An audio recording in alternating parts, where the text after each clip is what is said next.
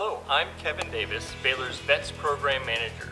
We are excited that you are interested in joining our Baylor family. Our Veteran Educational and Transition Services Program, or VETS for short, is here to support our military-connected students in their transition to and through Baylor and on to their next chapters of servant leadership. And hi, I'm Clairissa Talley, your VETS Ambassador in the Admissions Office, here to support our military-connected students and specifically our transfer students as they go through the application and admissions process here at Baylor. Military-connected students to include veterans, reservists, dependent children of veterans, and spouses all bring incredible value to our community through your profound leadership experiences, global perspectives, and battle-tested hearts for service. For that reason, we are truly invested in your successful journey through Baylor and onto your next mission field. We know that journey often starts with questions of affordability and accessibility. You might be asking yourself questions like, could I get into Baylor and can I afford Baylor? I'm happy to say that Baylor's participation in voluntary supplemental VA programs like the Yellow Ribbon Program has made Baylor a very affordable option for many eligible undergraduate students.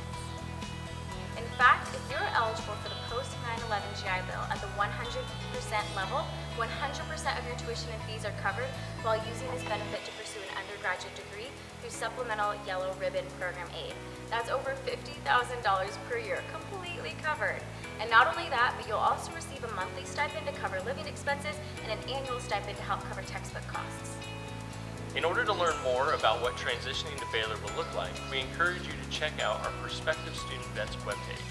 There, you will be able to review the application process as a transfer student.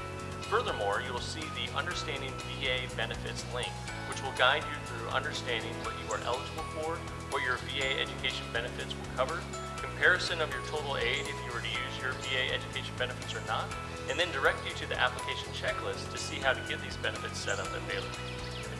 As transfer students, you may have additional questions about how your college credit that you've already earned will apply to Baylor.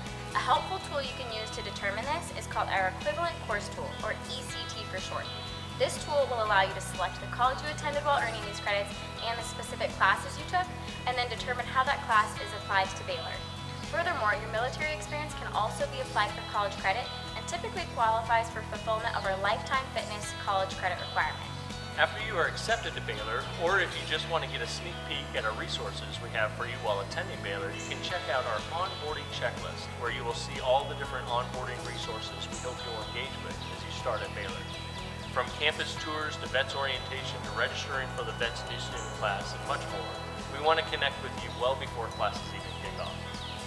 If you have any additional questions about Baylor, please don't hesitate to reach out to either myself or Kevin email me at clairissa underscore talley at baylor.edu. And you can email me at kevin underscore davis1 at baylor.edu. For questions specific to VA education benefits as they apply to Baylor, you can reach out to our VA Education Benefits Office at VA underscore benefits at baylor.edu. Wherever your journey takes you, we want to thank you for your service and for all the ways we know you continue to serve your communities. And thank you for considering Baylor. Semper Fidelis, and sick Bears. Bears.